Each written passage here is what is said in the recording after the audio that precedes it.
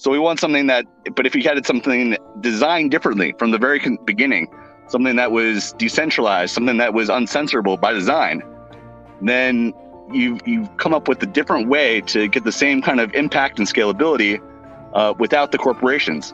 So we're making these people irrelevant in, in a way. Uh, and that itself is, is power. So giving people the tools that they need, the technologies for human cooperation, that is a really interesting problem that, that hopefully we can solve. And, and that's something that's never been done before. This is this is like the new frontier of what we're trying to discover.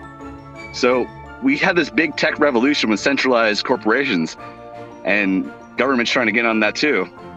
But we, we have the, the options, the possibilities to do something even grander that that will actually make it so that we need less less oversight, less regulations, less power over us than than than past. This week on Monero Talk is sponsored by Cake Wallet. Store, send, receive, and exchange your Monero and Bitcoin safely on iOS and Android too. Cake Wallet is open source, and you always control your own keys. Cake Wallet is trusted and verified by the Monero community. Monero Talk is also made possible from contributions by viewers and listeners like you, and supporting us is easier than ever by typing in monerotalk.crypto in your Cake Wallet send address field to send us a tip. Douglas Tuman chats with dMartian, a liberty loving Monero enthusiast. The two reminisce about Monerotopia Miami, dream about a potential Monerotopia NYC, and brainstorm about how to build a Monero circular economy. Monero Talk starts now. What's going on? Oh well, been been thinking about Monero and um, still recapping everything just from being at Monerotopia and thinking a lot about all the the talks that were on there, the people that I met, and what where this energy could go. What what could what how can we uh, turn these new connections, these this new knowledge that's been shared, and and drive it into something that that's actionable and is going to keep moving us forward when did you get into Monero, man? I, I, I only just I think recently. I, no, you've been you've been around for a while, right? The the name sounds. Uh, I recognize the name. yeah, I, I, think I've been around social media for. Well, here's the thing: As, uh, I I've been involved with Monero more or less, mostly as a user and just someone that was generally interested for about maybe three years now.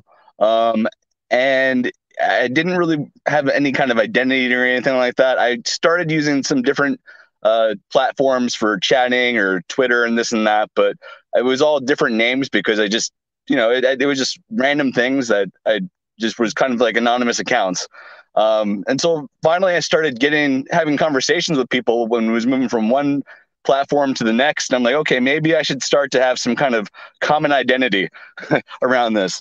Um, but really, what, what drove me into it was just uh, figuring, being into Bitcoin in general and cryptocurrencies, and getting an idea of what it could what it could do, and having the experiences of trying to use Bitcoin privately, and seeing Monero as an option, and and being like, whoa, I just I just send it, and and I when I, I looked at that, I'm like, it can't be, and started looking into how it works and how it, it's, and I'm like, wow, people are using this.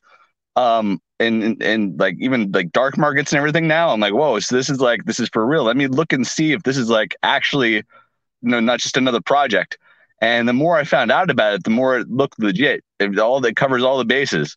So I, as, as i got into that i started realizing that it was more than just a tool to me. It started becoming something that that could be a sol- part of a solution for society.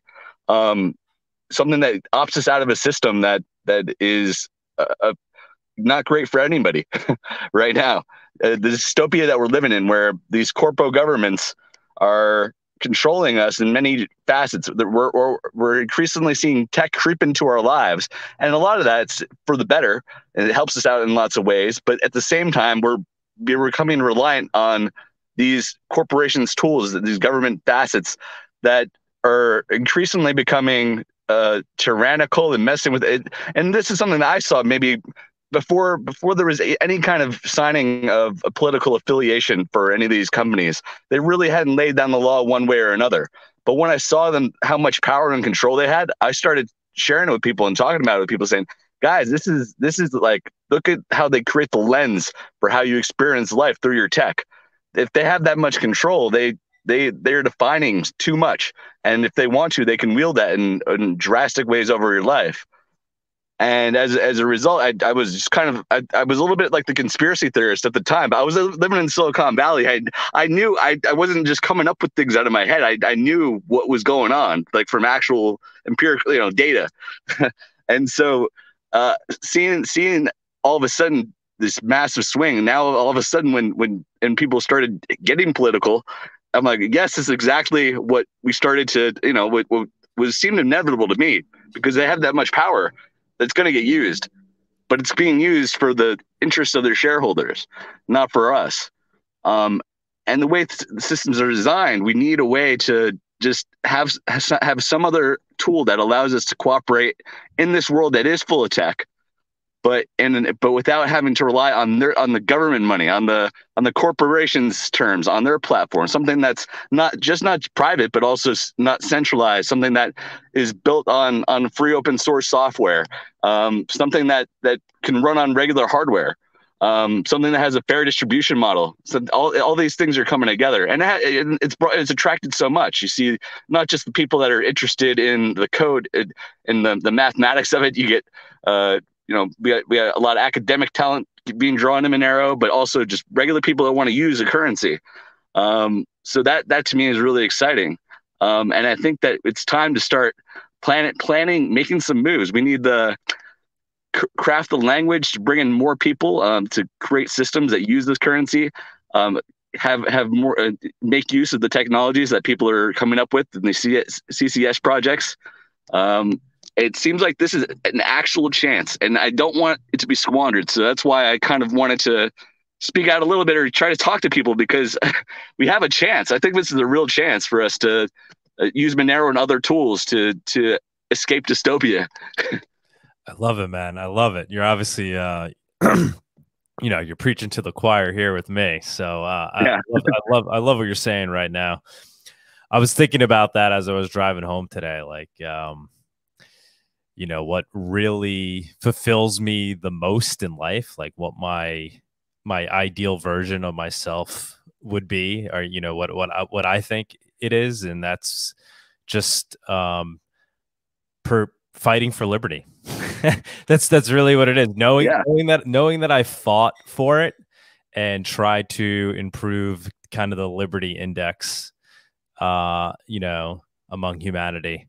Um and so with Monero, I mean, there, there's really no more efficient, better way to do it than to just help the Monero project. You know, I, I like try to think of what else could be done, and it's just, you know, the the most distilled form of uh, fighting for liberty. It is, and it's it's different than the old fights for liberty. And just being, it, people like to look at civil rights battles from the past and say, kind of almost mimic the aesthetics of it for a modern day problem but not necessarily come up with a solution that's adapted for the problem at hand. And it seems like you're looking at liberty from the value perspective and seeing how can we do that in our time, in our current situation. So, what do you think needs to be done, man? Obviously, uh, you know, something that we've all been talking about a lot, and I feel like more now than ever, is creating a Monero circular economy. Uh, obviously, you know, I always try to push that and do things. Um, but what do you think ult like what really needs to be done is it is it that are we missing some piece of infrastructure in the system that's going to allow us to uh, really create this Monero circular economy, or is it literally just people taking action and opting into it? I think so. What I, I, think needs to be done is there are a few things that need to happen. We need to set the stage for people to be ready for something like Monero. I think when a problem comes along, someone like a corporation like a Disney does some so, th- something in some state and there's some social issue at hand, people are talking about, well, oh, it's your side, you know, Republicans or the Democrats or you know whatever political oh, usual business as usual at hand. Really, what people's reaction should be is saying, why are the corporations whose interest is for their their stockholders to make it making plays and are in the and in the what controls our our social policy just that fact alone should be something that's alarming. Just having people see how that, I mean, they saw it with the GoFundMe where they they thought, oh, we could just fund things, and they realized, well, you can't just fund things because they get shut down. Those things, people start to see that, and maybe if they start seeing how these corporations are really affecting them, that that'll help. Like uh, for example, people tend to have workplaces that have values or meaning and but if it's a big corporation a lot of the times these things really are superficial to extent people want to feel like they're doing working for a company that means good and does good and has good values. But really, that's something that these corporations do to the extent that they think that is good for its employee, uh, you know, getting employees to come in, join their company, retaining their company, and uh, be productive. Um, but that's not true fulfillment. And get making people aware of of the, the liberty aspects really, I think, is is the first kind of foundation, getting people to see, hey, these people don't really, they're not really representing something of value, and here's some, here's something, an alternative, um, where basically they don't need, they don't need to be involved. And additionally, you don't need to think of them as a system that you need to just live in and accept it or work with it. There's an option. You have another option, and therefore, when you work with the government and and the government's money and you're working with the system, that too is an option. So you can start to lean yourself off of that. When you get annoyed at how the system's working, when you see things are just not right, you don't have to be participating in that 100%. And now you can start to have options. Well, what's that option? Well, that's where we need part B, which is clear language for the the regular everyday person. I I've been thinking about it, and I, one thing is I think the two things that are maybe easiest is to say it's the most trusted, untraceable cryptocurrency. And reason why is because there's always going to be some new wave person that's going to say, well, ours is better, the new private currency. But at the same time, most people don't want to be the, the first users of something. They, they want something that's trusted. Say, this is, yeah, this is the most trusted one. This is what people use. This is, you know, it's been around. It's, it's, it's great. And unlike Bitcoin, where you send things to address, but that doesn't happen because it doesn't get traced, doesn't get tracked. So the breaks you free. That kind of language say okay this is great. Now i got something that's that's not owned by the not owned by the banks not owned by the corporations not owned by the government. I could just kind of it, I, it's something that people trust. It's something people use. I'm not going to get tracked. That kind of sets the foundation there too and then you need the tools that they can use there's a lot about monero that is uh, it's it's something that i think today's users can use quite well but i think tomorrow's users need something more simple something that takes the feature. So I think that's where people like today going out and getting people to use Monero um, and create these economies. That's that's a great start because you start seeing where how it's actually used in practice. Mm-hmm. And then in the then what you could do is make tools that kind of automate that and abstract things away. Mm-hmm. And now now it's it's making it even easier because people just everything makes sense to people. It's it's using the features of Monero the way that works best for the users. Mm-hmm. Mm-hmm. So if those things can combine, if those things can converge, then it's ready for a, a big wave, I think, of adoption. Yeah, I mean, I I think, but really, the biggest thing that is lacking in terms of making it usable is just having uh, liquidity. Uh, you know, yeah. so, you know I, at, at, this point, right? So obviously, there's things you could do. You can make it more seamless. You can make it feel more like Venmo. And when people say like Venmo, what, what what's really so great about Venmo is that it has this large network effect. That's really what people love about Venmo is they could turn to anybody and be like, "Hey, I'll Venmo you." So like that's that's the bridge that needs to be crossed. Is it needs to be that anybody that receives Monero could essentially instantly turn around and seamlessly use that Monero. That's right. That's like in my mind. That's that's really what, and I think uh, Coincards is doing interesting things with that. Um, I think you know, you know, I see a day where something like that is built right into uh, Monero Wallet, Cake Wallet. I like promoting Monero Wallet, um, mm-hmm. Monero.com wallet. Uh, like something being built into that where you know basically you can interface uh, with anybody uh, and essentially use Monero to send them to send them value. And you really doesn't, from your perspective, it just feels like you're you know you're using your Monero and you are, and the person on the other side is just getting value in, in some fashion, right? So that um, I think we're I think we're getting close to that, right? I mean, what, what so what do you think needs to be built to make that happen? Like, uh, yeah, I think we're I think we our closest bet right now that I know of is well, there's two two things that I think could work really well. Um, and one is to to use the uh, have good integration with the the OpenAlias uh, features. I think that it, and this might be a little controversial because it, it's not necessarily as private, but having a way for people to easily register uh, an OpenAlias with some domain, which you know makes it so they lose some privacy there. But I think a lot of people would take that convenience factor because of the adoption. And but then also I would say that Molly.im, that that messenger, the the hardened signal fork, mm-hmm. they're looking to get that they're looking to get that walled in there. And when looking at or just integrating with different wallets, they chose to have it integrated into their app specifically for that kind of reason uh, so that they people that you have your phone number. Okay, well you're already chatting. You can also just send them Monero, and it's it's quick and easy there. And from there they can move it out. They can send it to their their Monero.com wallet, uh, whatever they want to do. Mm-hmm. Yeah, yeah, yeah, yeah. Um, yeah, I mean, I think that's awesome. I'm, I'm very obviously I'm a big fan of that, but I just don't know how much of a problem it currently solves. Right, like we could be an iMessage and I could just easily send you, you know, send me Monero to this address. You know, it's like is um like putting putting payments, Monero payments into the messenger. Does that you think it's gonna get a lot of use? Like there's gonna be yeah. Yeah, I think yeah. So so here's the thing: is I I think kind of like how you're thinking. Mm-hmm. Like that to me, that's what you're. That's logical. That's 100 percent logical. But I I I send Monero to people that are tech, you know, capable. They're, you know, people that they can they, they use regular applications, mainstream apps. Mm-hmm. I send them something like a, a, a Monero address, and to them it just like blows their mind like oh my gosh like what is this this, this crazy thing? It, it, could just a copy and paste. It's simple yeah, yeah. No, no, but to them it's just whoa. Getting uh, their ner- their blood pressure rises like it's it's you know like it's frustrating yeah it's they get scared they're gonna lose money now.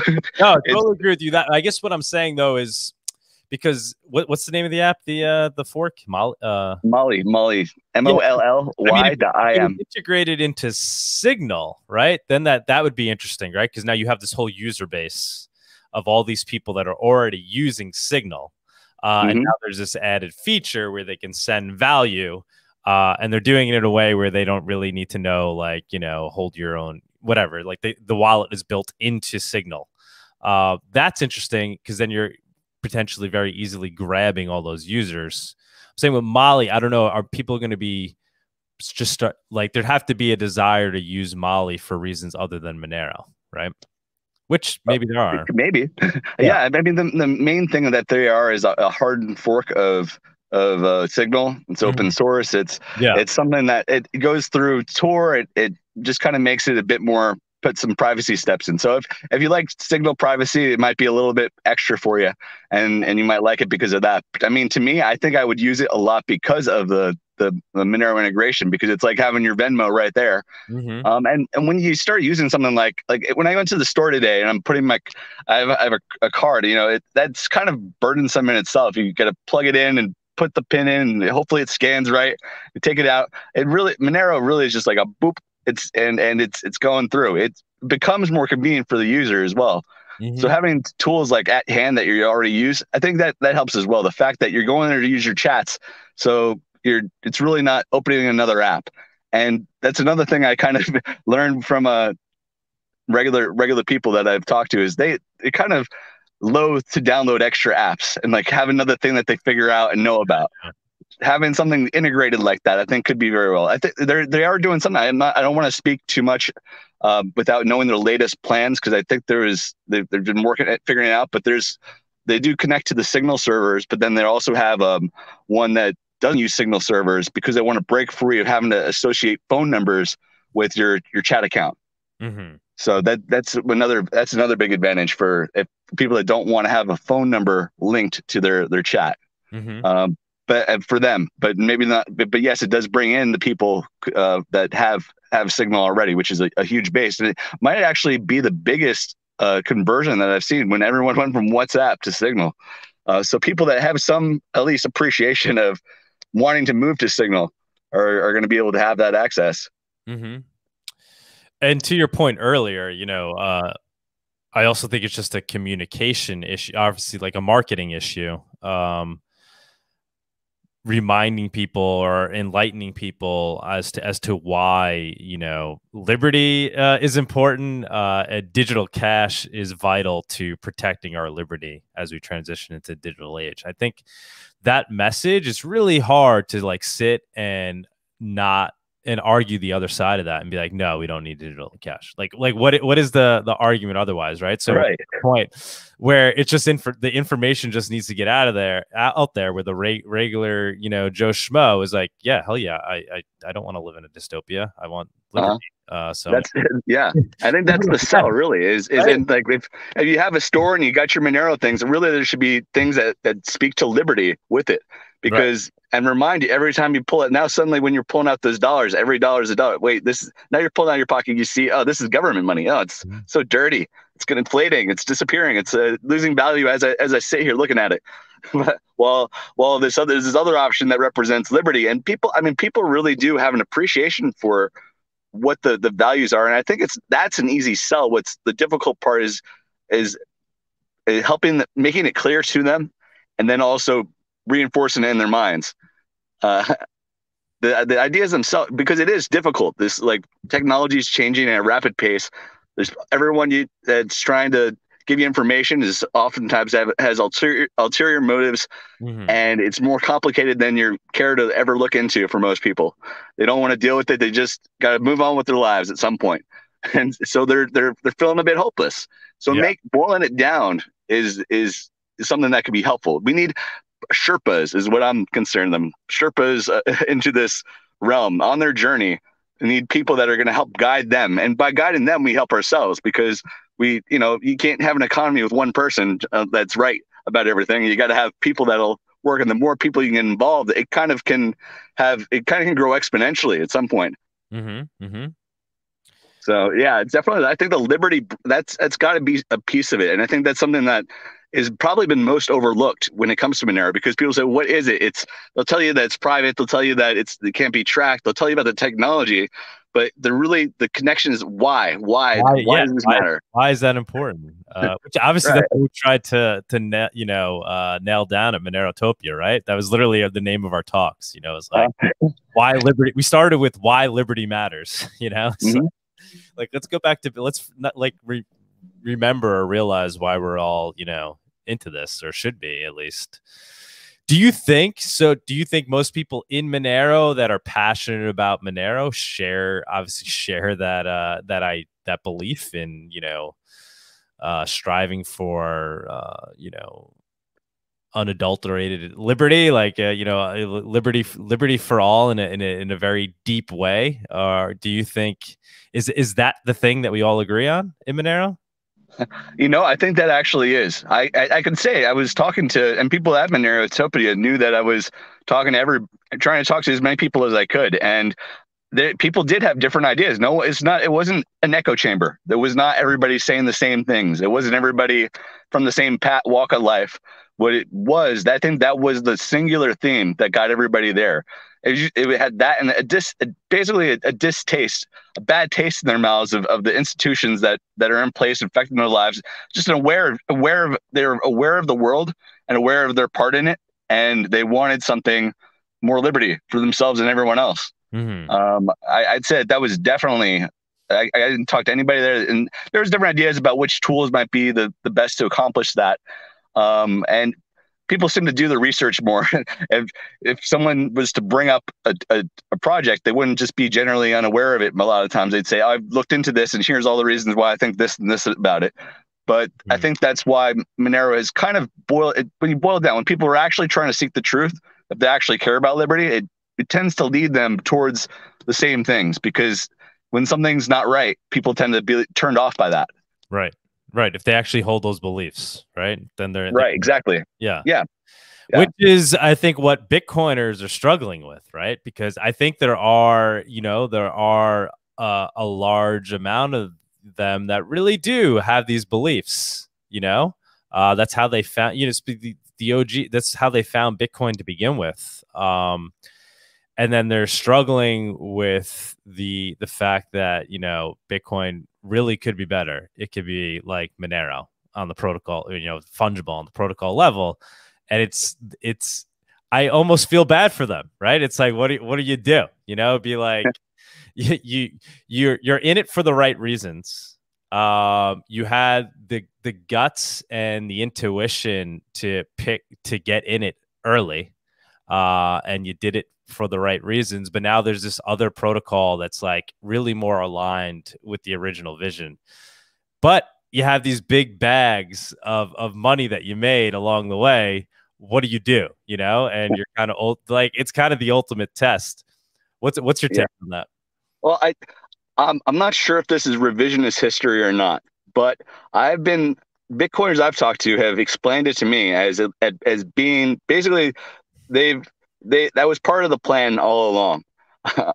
I, but in which case, I don't know that I could be as sympathetic because they're they're basically saying it was their dragging the tame, and they didn't, and and you know it's it's up to them to do that. And what, what I mean by that is that they thought that not everybody's going to share these values, so if you get people to get into it for the money, they might be doing the right thing for the wrong reasons, but hmm. they're still in it, and it still helps things succeed.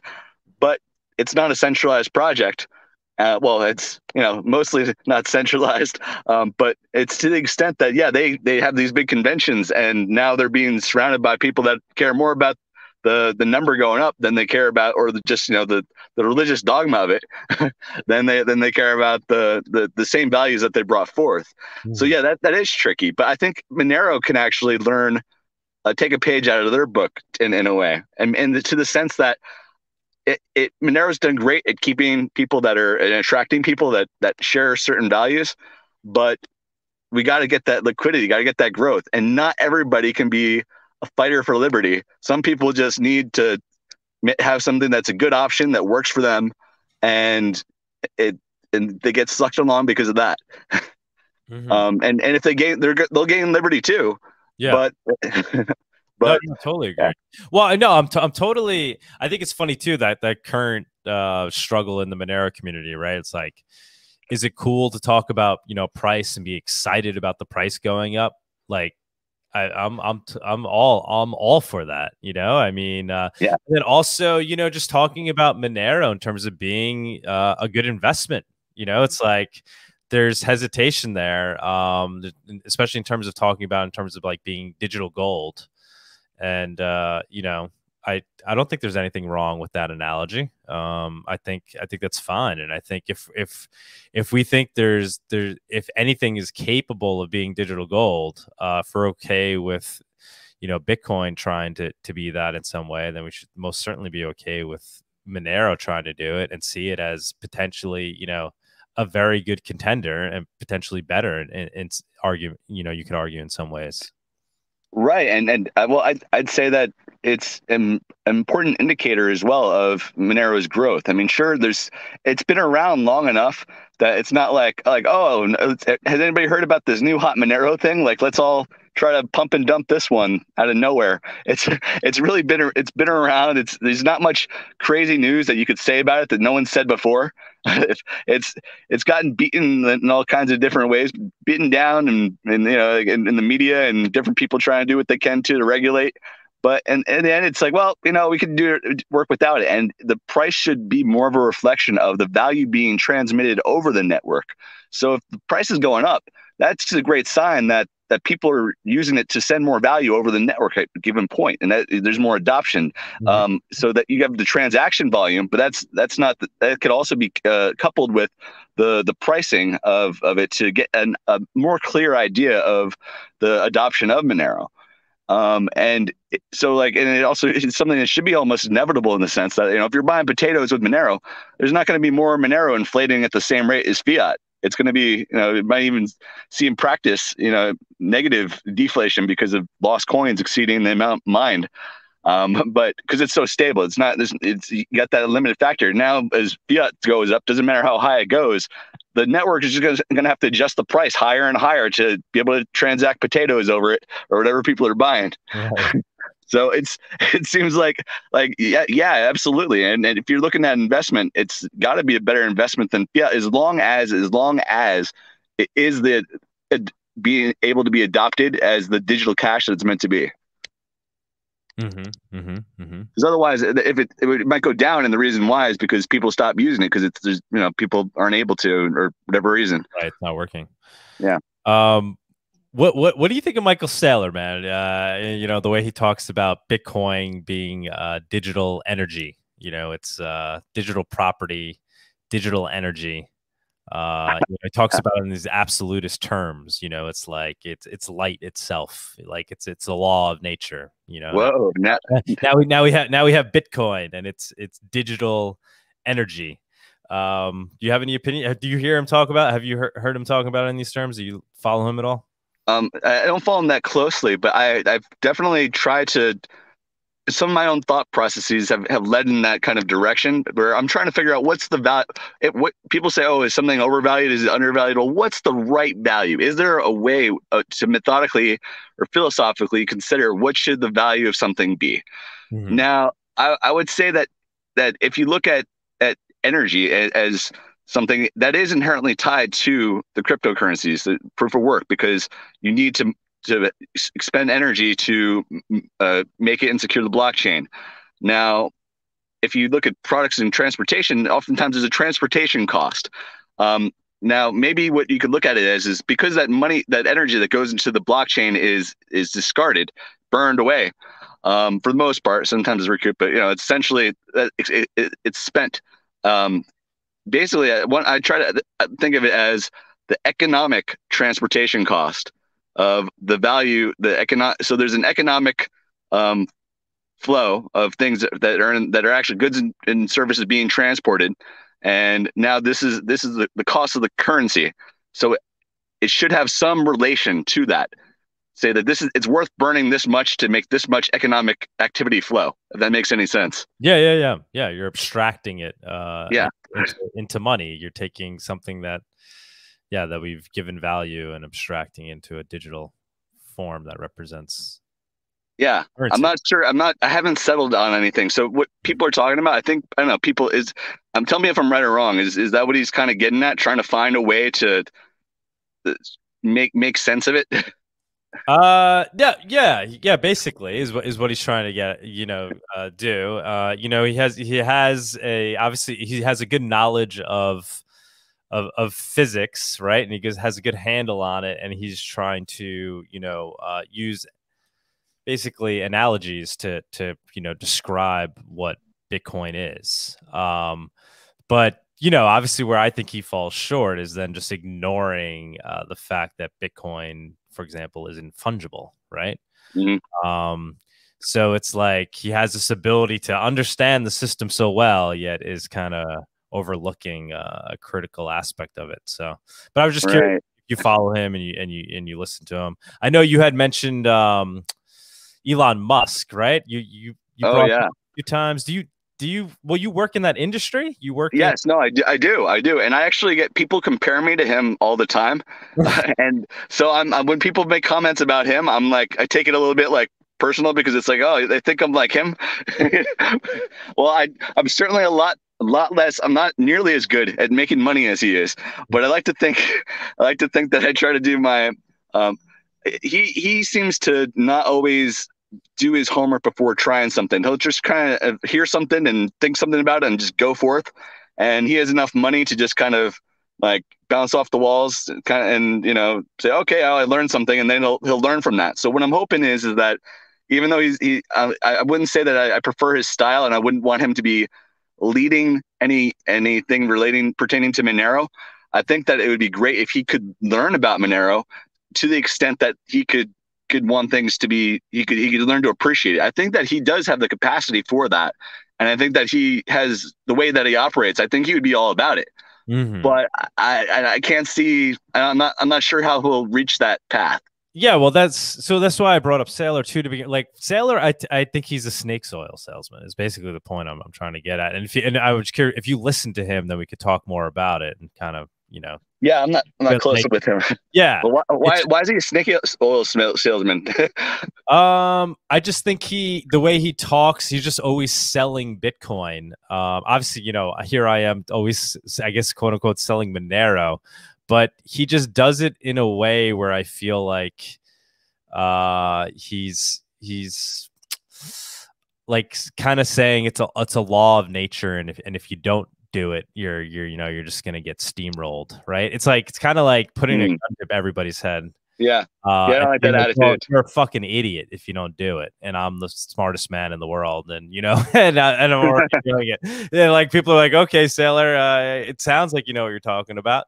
Meanwhile, like I said, he's le- leaving out like critical like aspects of it, which are the flaws, you know, and not even like mentioning these things and completely overlooking them.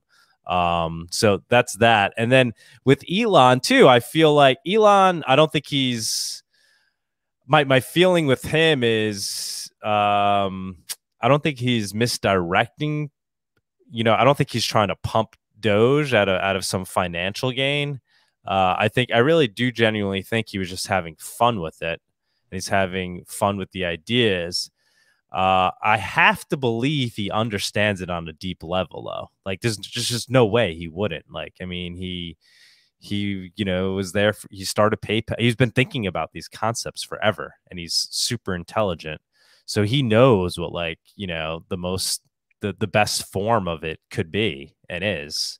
Uh, so I don't see how he then's like Doge and not arriving at Monero or you know, is it is it he doesn't have enough time in the day that he didn't stumble upon it yet? It's just it that just I find that hard to believe. So yeah, I don't, what, I don't know what his agenda or thing is. Maybe it's just he saw it as a cool way to bring a lot of people into the space, like Doge. You know that that will get everybody's attention, and then with the you know, and then once they're in it, you know they'll, they'll they'll find their way to to whatever protocol is the best but he's just like let's just get everybody in it and we use doge i don't know yeah, I, I think that he's certainly doing it for his own amusement to some extent. But I think that there's probably also some social, um, because uh, before he he got like whacked with those like SEC things about like things he was tweeting, and then he realized, hey, I could say whatever I want about these cryptocurrency things.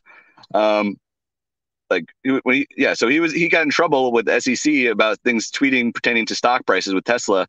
Um, and so a while later, he's like, well, I could say whatever I want about the the, the crypto. And really, I think he's he, he might think that sees flaw, certain flaws in it in general, something with like Doge, and he just wants to show people like like mess things up to it, like kind of troll, troll the troll of the general population and the seeing uh, what what can happen. I wouldn't be surprised if he actually put a Doge. He put it. He tweeted once to put an actual Doge coin on the moon, and given that he has contracts to go to the moon and that he could just write, you know, and like you know maybe a private key on something on on something there without getting in trouble. I I'm not entirely sure that he wouldn't put a Dogecoin on the moon. he might do it just for just for kicks. Yeah, I could totally see him doing. It. I mean, just for marketing, right? I mean, just like he he he he wants all the attention of the world, right? So he he definitely is driven by that. He loves that. Do you love coffee and Monero as much as we do? Consider making gratuitas.org your daily cup. Pay with Monero for premium fresh beans, and if you like what you taste, send a digital cash tip directly to the Guatemalan farmers that made it possible. Proceeds help us grow this channel, Gratuitas, and Monero. One of the things he says is that the thing we call money is just an information system for labor allocation. What actually matters is making goods and providing services. We should look at currencies from an information theory standpoint. Whichever has least error and latency will win. So, which crypto do you think has the least error and uh, and lowest latency? Uh, well, I I can't say that I the lowest latency. I think Solar is pretty good at that. It's good. It's usually going to be some proof of stake. Surely it's going to be something like one of those, right? And and uh, the error rate. Um, I don't know about error rate being much of a, a, deal. I mean, that's that's that's a weird thing to define in crypto. Where's where the errors well, I, are, I, so to speak. I think that's where fungibility comes in, right? Because like you know, if you're looking at the whole, you want you want something that's basically most fluid, right? It's a currency. You want to be as mm-hmm. fluid as possible. I think that's a way of kind of another way of describing that, right? Something that can flow most efficiently without any hindrance, right? Where I could seamlessly send value from me to you or whoever I want. Um, and I think that's basically what he's saying. That's that's my interpretation of that. And then so like that's where I think fungibility comes in to play, right? Oh, that's certainly every unit to equal every other unit, and there'll be you know uh, there'll be less friction in the system in terms of people zapping value to each other. Right. Well, if you look at the actual use cases, people started saying like, "Oh, is is Monero just for darknet?" But if you look at people that are using cryptocurrency as cash, because the people that actually like cryptocurrency for the values and want to use it as cash, like you start seeing people are attracted more and more to using Monero because it's just it, it works. It, it works. It does the job. Um, and it, and I think that's kind of what filters it out in a lot of ways, showing people people that actually understand it enough to know that this will work for me and this is what I just prefer to use. Um, that's a start. That's a great start. Have you uh, met Elon? I haven't met him. Um, I would like to meet him. I, I would I would love to have a conversation with him. I'm not sure exactly what it what about. Probably probably some of the the crypto side of it th- things, but other things too. Yeah. I'm actually not sure why he's so intent on putting people on Mars, considering he's so transhumanist. And I think he understands. I mean, NASA understood this a long time ago that that humans aren't great at space travel, but our, our machines are or like modified humanoids uh, can can probably do space travel a lot better than anything that that we can do by trying to to me it's like trying to put a, trying to put whales on the top of mount Ever- everest you know you can do it it's going to take a lot of take a lot of effort to do it but they're probably not the best way to to you know spread around you know get to the top of mount everest. So i'm i'm actually curious why why people on mars? And to me i'm i think there's more other motives behind that. Mm. so, I, so what, what is your kind of you know take on civilization and where it should be headed with regards to you know I think uh, we're doing pretty. There's a lot of untapped potential on Earth. I don't think we're overpopulated at all. Um, I think that we can definitely utilize our resources a lot better um, in a way that's that's fair and and uh, makes makes sense. We just really need our societies to work. Uh, uh if we're going to travel outside of Earth, at least, it's going to be there's it's we're basically on life support anytime we leave the planet. There's nothing that we can really find that's uh, uh, accessible for us to go to without completely terraforming it into something else. And we're very far away from something like that. I think that if we are going to be able to be around long enough to do something like that, we got to be able to get things working at home and and make things right here. Um, and and part of that, I started doing some volunteer work, just uh, helping out with something called FemtoStar, which is is uh, uh, not something that's cryptocurrency per se, but it's definitely privacy related. It's it's a satellite system that they're they're making, um, and making some good progress with. They're going to make it so that you can connect to uh, the internet without being uh, geolocated, basically having it so that your ISP doesn't know where you are.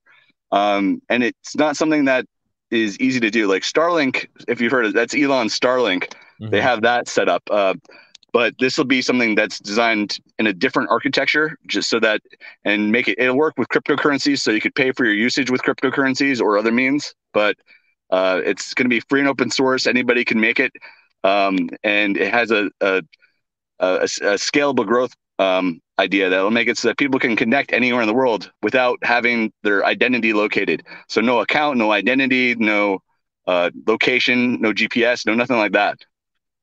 This is something you're working on, or this is? I just started helping out. Yeah, this is okay. not my not my baby. Uh, it's called FemtoStar. it's femtostar.com. Um, and you won't be able to find much about it there, but it's going to start out maybe like a CubeSat network and then grow into some larger uh, platforms that have been uh, thought of as designed. Mm-hmm. So uh, that could be a key part of it too, because the privacy aspect, people being able to talk is freely and use platforms and connect to the internet freely to associate with one another without the the oversight or the the government's corporation tracking us down that way.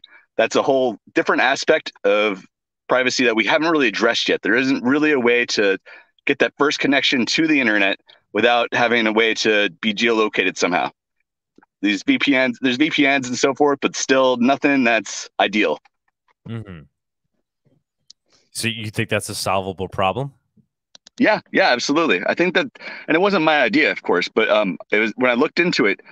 It looked. I was I was a little bit skeptical at first, but when I started asking questions and started looking into it, it started seeming like it really could be a solvable problem. Hmm. Um, solves solves it really by making it so that people connect to satellite, and then it's like a bent tube, which they call it, where it just goes up, goes down, processes the signal, sends it back back down. The ground system will have the like a token kind of system, so that that you can see check that they're they have an active session and route the traffic accordingly. But the ground station doesn't know where the person that's using the internet is, and the satellite doesn't know. So they just get the signal and and relay where it needs to go. It'll be completely encrypted all the way through. So there's really not an opportunity for anyone to know anything except the the service that's being connected to the user will be able to get that secure connection.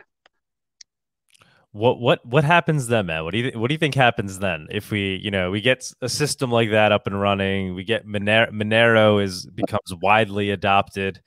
Uh, everybody's using digital cash. Uh, they're using other tools for kind of uh, really good encryption for communicating. What what do you think that does to to the world to society? I think it does great things. I think what it does in a lot of ways is it makes certain institutions irrelevant they can't control, so they don't control.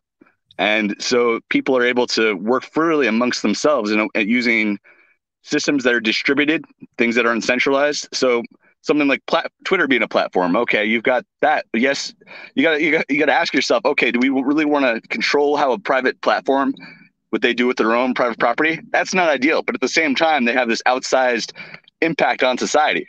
So we want something that, but if you had something designed differently from the very beginning, something that was decentralized, something that was uncensorable by design, then you've you've come up with a different way to get the same kind of impact and scalability uh, without the corporations.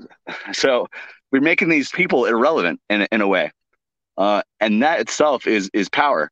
So giving people the tools that they need, the technologies for human cooperation that is a really interesting problem that that hopefully we can solve. And and that's something that's never been done before. This is this is like the new frontier of what we're trying to discover. So we had this big tech revolution with centralized corporations and government's trying to get on that too. But we we have the, the options the possibilities to do something even grander that that will actually make it so that we need less less oversight less regulations less power over us than than than past. Do you think there's any valid arguments on the other side as to as to why we might want to be cautious about, uh, you know, giving humanity oh, yeah. this technology? well, yeah, because I mean, it's it's always going to be fear. It's you got to trust that people aren't going to join up somehow and use that technology to form a centralized entity of some sort and exert power unduly over people. And I think that's that's not an unfounded concern. I think that just like the people that made the Constitution in the United States, they try to be like, okay, here's all these checks and balances. They had tried everything they could to figure out how to stop tyranny and have a system that works. But tyranny always finds little cracks, little ways to get around, different ways. It'll it'll get more and more abstract and complex until it, figures out how to worm its way into whatever it is, and and so that's something that's going to have to be a concern for sure. By getting rid of one, by by getting rid of this next level of tyranny, you you got to be on the ever watchful of the next wave that could come out of it. What do you think? Yeah, no, totally. I mean, um, Ty- tyranny obviously always always finds its way to, to date and and and the, the scariest thing is we're, we're entering a uh, time where if tyranny finds its way at the right moment uh, when we're all opted into to technology that has the ability to perfectly surveil us then you know uh, you could you know, enter a dystopia, right? Because now you're just not getting out of the tier. There's no way out. We've always managed to break free. You know, society kind of, you know, tyrannies rise and fall. Uh, but obviously, this the scary thing is, do, does does the do we have the perfect storm where you know you have people wanting to take over and then they do it and they and they use technology to do it in a way where it can't be like reverted and obviously you know, I'm an optimist. Uh, you know, I I think I think liberty will prevail, uh, and I think we see it with things you know like the internet itself, and and uh, you know, um, with with cryptocurrencies with Monero. Um, you know, people are, are worried that maybe the internet could be taken over, but I think, you know, even just the, the, the technologies you're bringing up, you know, we, it always, Liberty always seems to be kind of one step ahead in figuring out how to maintain itself. So I think then ultimately the question comes, where does that lead? Um, I don't know. Do we have like a, a world hmm. where it's, you know, the, the tracked and surveilled and centralized versus the decentralized?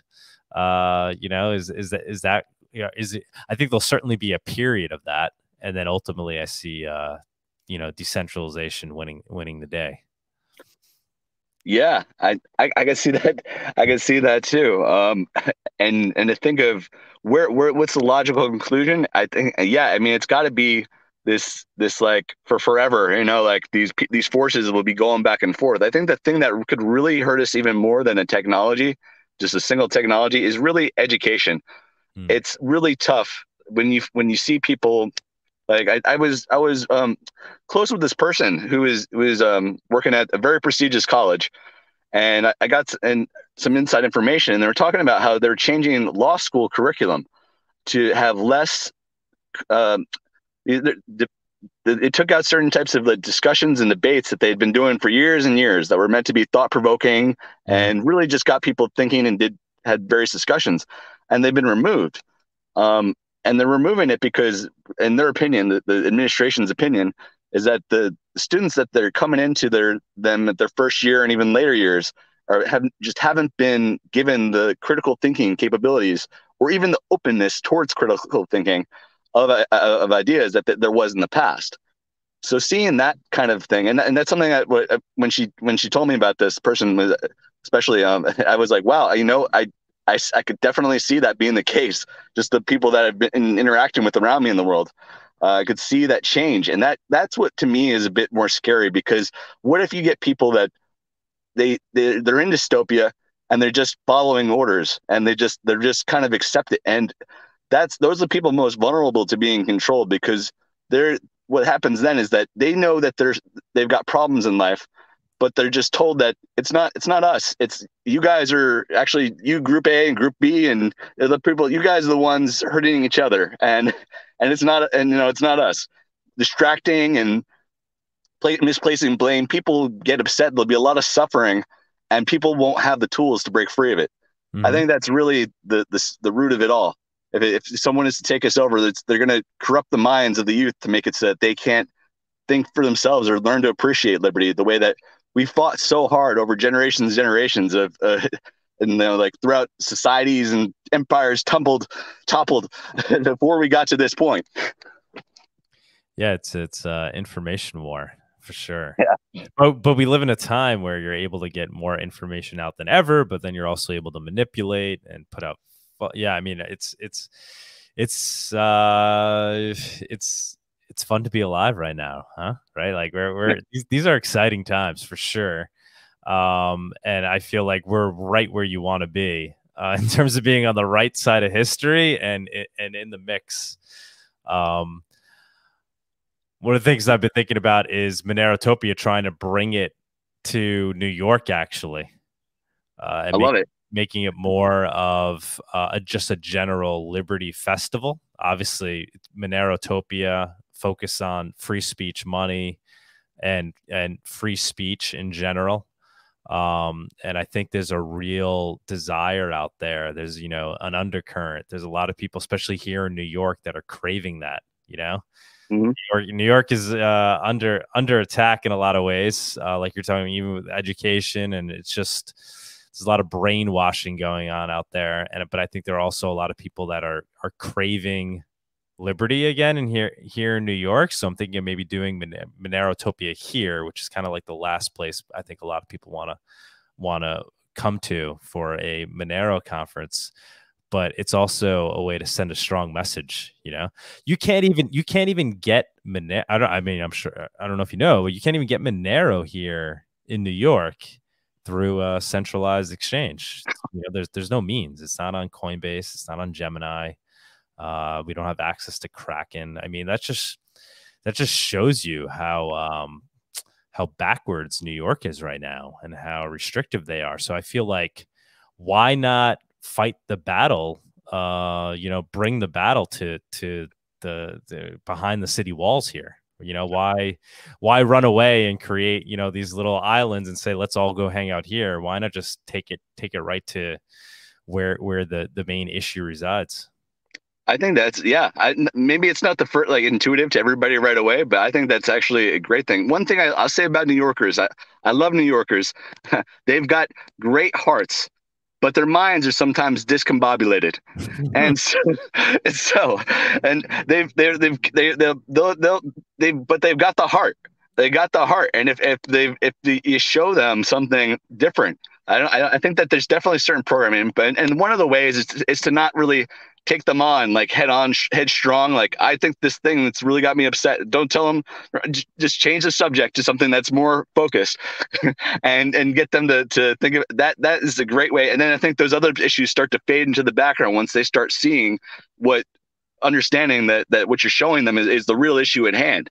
Mm-hmm. and I think, uh, yeah, I was I was uh, putting some stickers around Brooklyn and for Monero, so hopefully uh, that's uh, helping spread the message there already. But I think it's yeah, it's and it's financial financial tech. You know, it's a big spot for that. So I I, I know it's not yeah going off into your own island of, is a is a great idea, but uh, it's definitely a more um uh, it's a forward leaning, more of a like a an a, offensive posture to go into to New York City.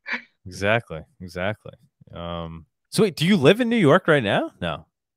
Yeah, well, I'm I'm moving to moving out of the city, but um, yeah, I was in uh, Williamsburg. Oh, dude, you, so, but you're here now in New York in this area or no? I'm I'm moving. I, w- I was. I'll be back. Oh, you were okay. Because I was yeah. saying we could have done this in person, man. We could. Yeah, I, I guess we should have. yeah, over. All right. Uh, that would have been my deal. Uh, yeah, that's that's why that's why I know the I know the New Yorker and uh, a, a little bit. I know, I know him a little bit. okay. Yeah. So, um, I actually did uh write down some. Oh yeah, what is Monero Mars? What what is Monero Mars? You ha- I saw you have that. Oh yeah, yeah. Well, it's everybody's everybody's looking at um uh Monero UK, Monero this place. I'm like Monero is like it's it could be anywhere. It could be on Mars. And like I was thinking that me being in aerospace and like thinking about putting stuff out there and like I I, I realized Elon might be able to put something on on the moon, uh, but I would like to put Monero on Mars. So if I get an opportunity to do that, I'm gonna I'm gonna make that happen somehow. If I can get if I can get some um sometimes you know you can do some etching or something like that or but it depends but uh something I that I could provide. Do you remember Sorry? in Monero community there was somebody trying to do the I think they were trying to do the Monero moon mission. They wanted uh they were, they were funding uh, the building of, of a rocket that would then send a 3D printer to the moon. And I forget I forget what the ultimate uh, goal was. Do you have you heard of that? I, I, didn't hear that, no. But I, I, really like the idea of 3D printing on the moon. somebody was trying to do that, like push that initiative in Monero in like 2018 or something. It was funny. Um, huh. I think it was also the same guy that started the Church of Monero. Have you ever heard of the Church of Monero? No, no, I haven't heard of that that was another another thing. Uh, that was interesting.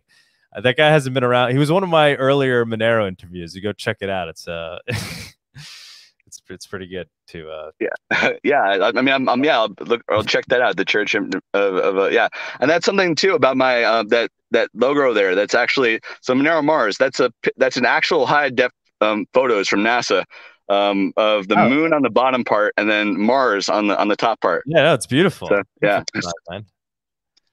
and then what's uh what's New Wave Liberty? I saw that in your profile. Yes, yes. So that's that's something that it's it's kind of building off. Of, maybe we were thinking much of the same thing about you talking about like a, a bigger Liberty festival. The more I started thinking about Monero, I started thinking about like, hey, we're talking about free speech, but hey, this has got to tie into all these different aspects of of uh of our of our society right now. Look at who's we're talking about not just how to transact money. We're looking at who runs the government, who who controls how people cooperate, as, as you know, human cooperation in general.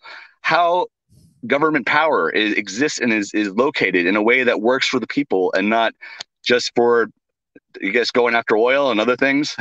um, so we've we've gotten locked down in a way with the the corpo governments that are able to buy the politicians that write the laws that do what's best for the corporate shareholders who and then have the news outlets that tell us that everything's fine and, and dandy uh, and the and the big tech that makes it so that people can't really have a neurosis on on the internet where they're not able to have regular conversations. They just kind of build swarms of, of emotion and, and drama, but not really facilitating the, the ideas and pr- promulgation of, of, of ideas of liberty, things that people want to come up. Anytime someone wants to come up with an idea, they kind of scatterbrain it. They don't allow it to succeed really.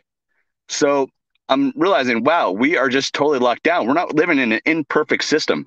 We're living in a system that needs that we need to escape from. We need another wave of liberty, similar to when we first were under tyranny in the U.S. from from the the British. We need to reimagine the same way that that they imagined back then.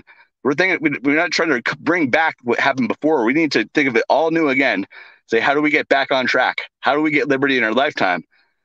And it's going to wind up in, in ways that that are very predictable if we can succeed, but it's going to take a lot of work. It's not just people developing, it's not just people making money off their bags. It's going to be people that are spreading, uh, people that are the, the Sherpas, the ones teaching people, the ones building tools, the ones working to build economies, people that are the, the propagandists, the ones that, that people getting raising funds together, finding ways to raise funds like CCS and other other tools to make it so that, that people can uh, start cooperating using Monero to to get resources where they need to go to advance the project.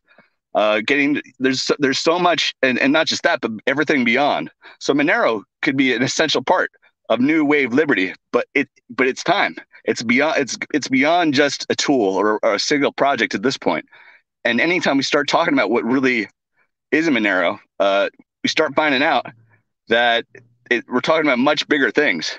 And that that discussion shouldn't be limited to just Monero. I think other people should be involved in that. And I think if we're going to talk about this coin or that coin or this project or whatever, that's fine. And those are good conversations to have. And I, I think there's they can be very spirited ones. But at the same time, people should be able to talk about the larger issues that we all agree on and and be able to, to join together on, at least on those parts. Because mm-hmm. if if what happens is is that we have these projects and we're all just divided along those lines, we're artificially breaking ourselves apart. So we have to have something that kind of outlines what we're all trying to achieve at, at the bigger, at the higher level, mm-hmm. and allowing us to go beyond just Monero. and, and once we can do that, uh, we can amplify our efforts. You get those people from Bitcoin, they have those bags in Bitcoin. They don't need to leave Bitcoin. They could still advocate for the same causes, still talk about the same issues. Where so you, that, that's yeah. Hmm? Where, Sorry. Where, where, do you see Monero and Bitcoin uh, settling at in terms of each other, like their dynamic in the future? Oh, you know, um, I'm a fan of Monero's future because I, I like what Bitcoin's done, and it has that liquidity there. It has the network effect, so to speak. But at the same time, it doesn't seem to be solving its problems. I don't there's a lot of people trying to make it work, but it just it, it it's not on a pathway there. And I don't, I'm not sure that its problems can be solved. I've been looking into some of the stuff that Seth, uh, uh, for Privacy has put out there and try to, to see what other people have done when they've looked into it because I think people want Bitcoin to work. And I would love it if Bitcoin did, but it just seems like the roads lead to lead to Monero right now. So I think we need to kind of have ability for people to be one foot in one project, one in the other. We need to be on good terms so that people can kind of intermingle back and forth. And I saw that happen great at Guns and Bitcoin.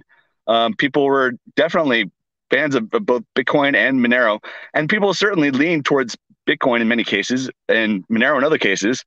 Um, but at the same time, everyone got along great, and they're all there for the same purpose.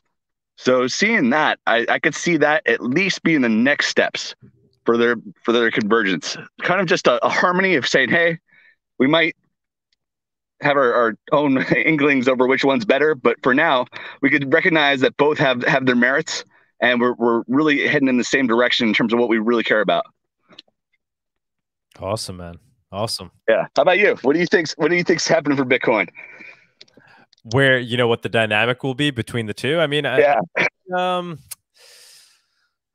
but um, obviously Bitcoin has this huge network effect. It's kind of be it's becoming the the uh, the medium through which fiat flows into crypto. You know, so I kind of see it as as the trunk. You know, that's that's bringing uh, fiat into crypto.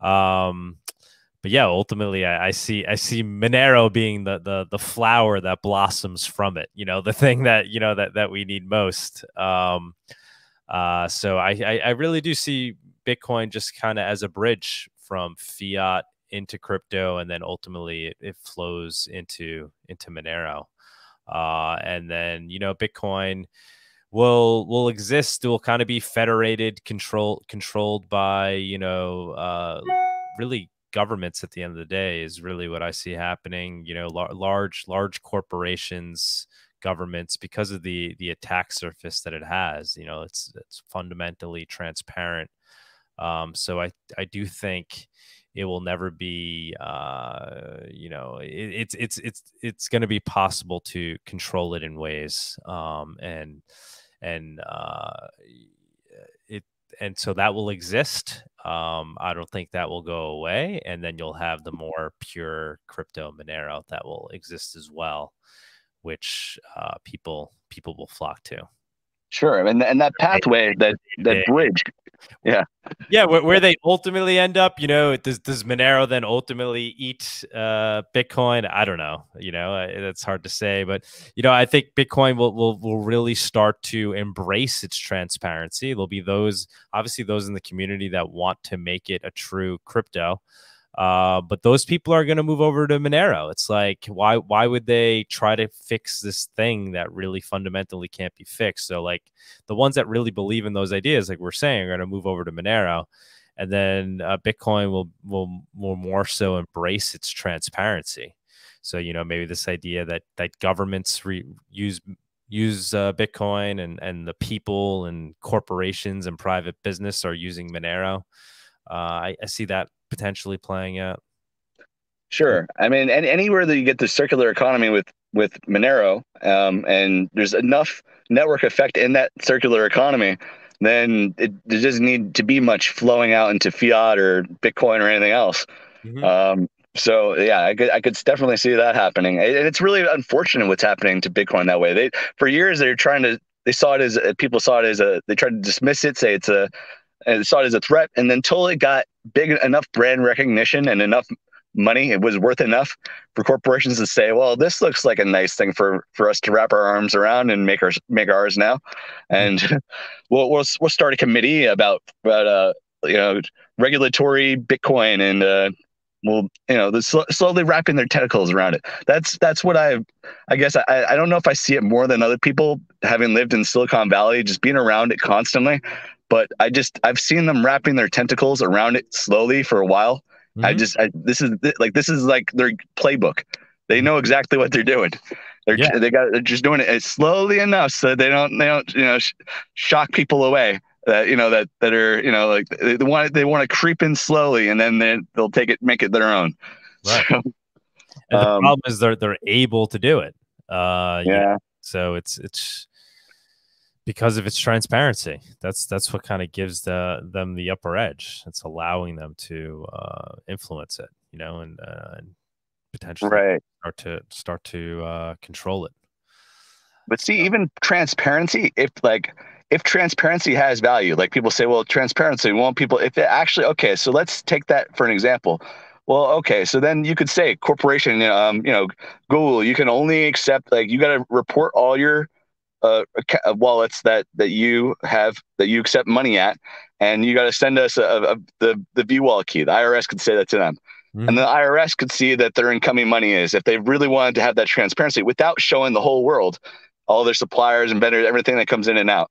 Now, I'm not advocating that that I haven't advocate for that specifically, but I'm just saying if if transparency is to have value, and that reason is because it has accountability, then Monero would also shine because it would allow you to get transparency to the ones that would hold people accountable, whether it be a small audience or large audience or everybody. um, and and it wouldn't always be everyone all the time. Yeah, exactly. Uh, you know, you could, you could, it has the feature of transparency, which you can opt into, um, but it isn't fundamentally transparent, where it then gives it an advantage over those who have, you know, the the, the greatest ability to to uh, use the information that they can gain from viewing the ledger. You know, um, yeah, that's the problem is it creates an unfair uh, advantage, right? To those that can process, you know, the information the best, which are, you know, large governments with with you know resources, can then use that to their advantage to control. Um, yeah, and if you're a government, I would be scared if I own a business. I'd be scared to use cryptocurrency for that reason. That like I don't know who's gonna. Get, I know that usually someone will be able to get this data and do th- stuff with it. Mm-hmm. I wouldn't want. I want people to know that. I want. I want to be private. exactly. Well, listen, man. Uh, I'm gonna go eat some dinner. All I right. Wish, I wish we did this in person. If I knew you were, well, I don't know if you're in New York right now, but if you were, then we would, you know, do it in person. That that would. Well, I'll message you when I get back in town. Yeah. We'll see. Yeah, yeah, yeah, yeah. yeah. All right. Um, Sounds good. This is a good talk. Good stuff, man. I appreciate you taking the time. Uh, it was great meeting you at Monerotopia. I'm glad. I'm glad you had a good time. Any any any things you want to close out with? Uh, anything you want to let the community know? Get the word out on.